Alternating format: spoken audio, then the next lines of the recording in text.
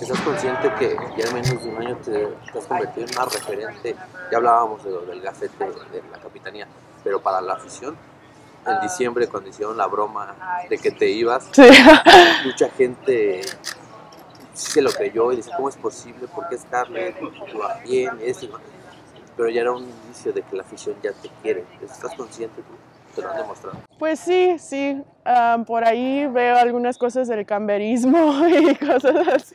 Sí, so, pues me- se siente muy bonito porque es, pues qu- quiero que disfruten de cómo juego y todo eso y pues me hace sentir muy bien como jugadora y pues me motiva a seguir haciendo bien, seguir mejorando para también como las personas que mm, piensen, piensen que soy referente. Ajá.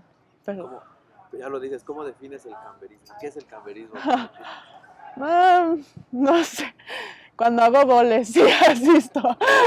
¿Qué característica debe tener alguien que quiere ser camberista? Ah, buena pregunta. No sé.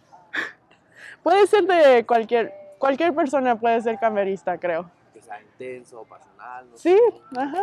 Que le guste la América. ¿Qué, significa, ahora que lo tocas, qué significa el, América?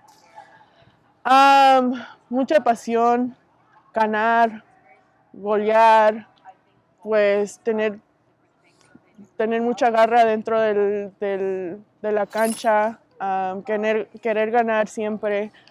Eso es lo que significa para mí.